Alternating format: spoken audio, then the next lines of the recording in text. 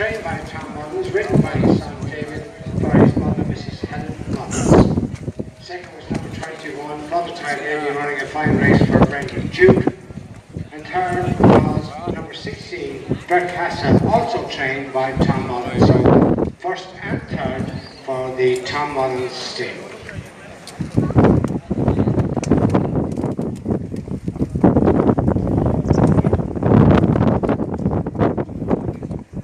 The distance